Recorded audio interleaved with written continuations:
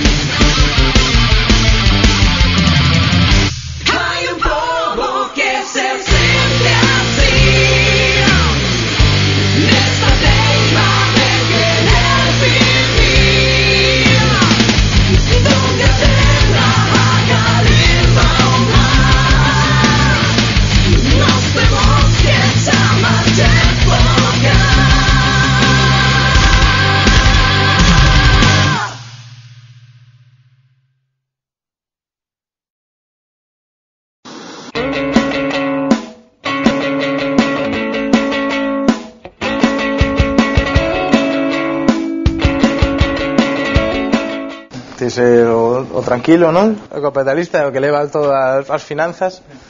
Despois eh, Violenta sería un poquinho a, a, a cabra loca en sentido de que tamén é moi xove, entón eh, leva relativamente pouco neste rollo e é moi moi moi temperamental, entón pues, a veces hai que tranquilizala un pouco. A Alex le gusta moito combinar Coca-Cola con algún líquido, non sei cuál é exactamente o que utiliza, pero gustalle moito mezclar con, con, con hielo e cosas así. Eu máis ou menos lo mismo que Alex, pero subiéndome al techo e cosas así.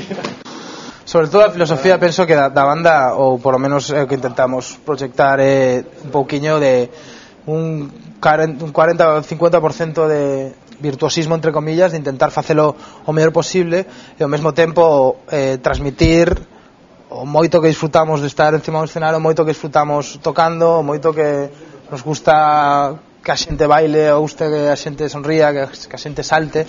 Entón, creo que máis que, que ao directo é máis volumen, é, é máis garra, é máis, máis forza. É, máis presente. Gustanos tocar en sitios pequeniños, donde a xente este donde a sudor da primeira fila chega a ti e o teu sudor a eles. Entón, é o, o que sempre intentamos, vale? Que, unha, que nunca unha persona saia de un directo noso con diferencia de, bueno, pues no, hasta, no sé si me ha gustado o no.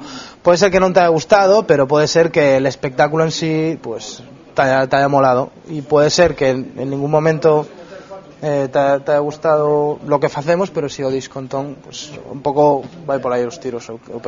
Bueno, la idea, la verdad, surgió un poco entre todos, teníamos una idea que a partir de ahí pues fue ramificándose y lo que teníamos claro es que queríamos como una especie de, de cubo o algo así donde nosotros estuviésemos dentro, donde nosotros tocar y tuvimos la suerte de tener una nave industrial, por ejemplo, que nos dio mucho más juego.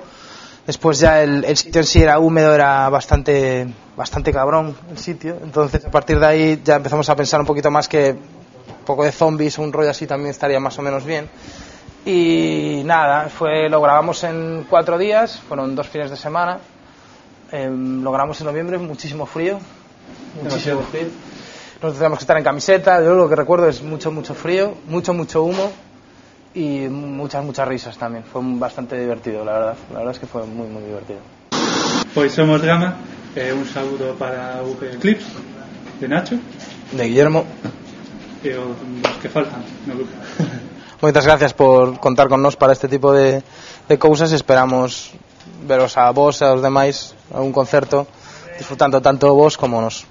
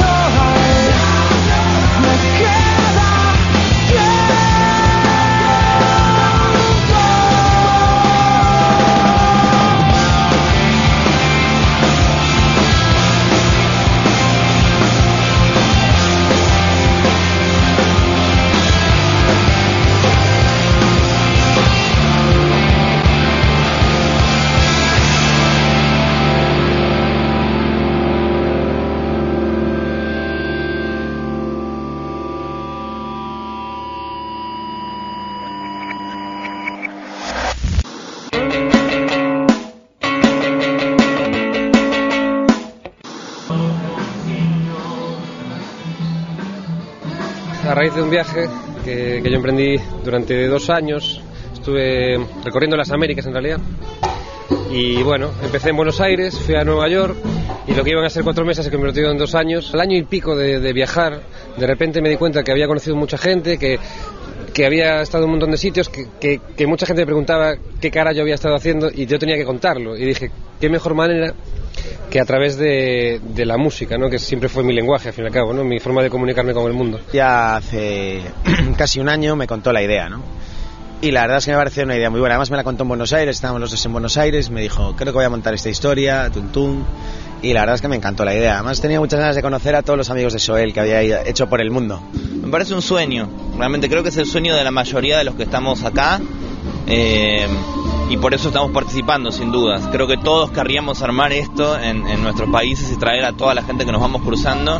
Él pudo hacerlo, tuvo el coraje de enfrentarlo y me parece maravilloso.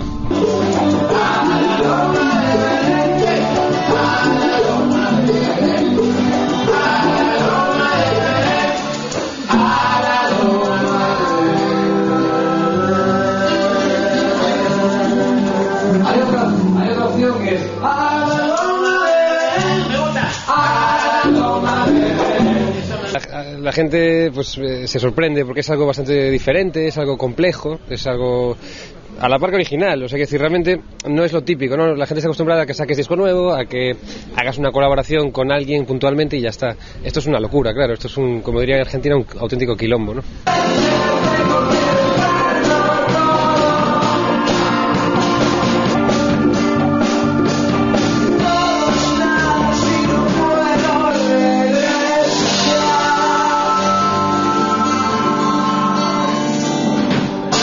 Yo creo que sirve sobre todo para acercar a un montón de gente de, de, sitios muy diferentes, pero que tienen muchas cosas en común, ¿no? Me parece como una convención, casi, ¿no? Como, una, como un encuentro, como si, viste, hay muchos encuentros de escritores, de, de gente de teatro, pero de músicos no hay tantos. Generalmente hay encuentros de, de de las, de las empresas, de los sellos, de la industria musical, no de los músicos. Esto es un encuentro creativo y eso es lo que es importante, me parece, un encuentro creativo de, de escritores de canciones, eh, en general en castellano, latinoamericanos, aunque también está Bart de San Francisco y, y, los chicos de Brasil. Me parece un estudio, vamos a salir todos mucho más vivos y más creativos de todo esto, estoy seguro. Hombre, para nosotros, para nosotros es increíble, date cuenta que yo llevo, por ejemplo, todo el día ensayando, con músicas de todo tipo, con gente de todas partes, con amigos, y de hecho es un poco como un... Es un sueño en el sentido de que uno no está acostumbrado a, ver a todos sus amigos a la vez. Es como en las bodas o los cumpleaños, ¿no? Como que para mí es un evento muy especial. Personalmente es como una fiesta, no sé, acojonante.